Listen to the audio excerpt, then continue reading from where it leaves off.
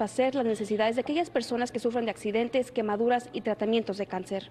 La Cruz Roja Americana fue una de las razones por la que la vida de mi hermana fue un poco más larga, porque siempre recibía donaciones de sangre. La Cruz Roja también suministra sangre para aquellos pacientes de cirugía cardíaca y trasplante de órganos.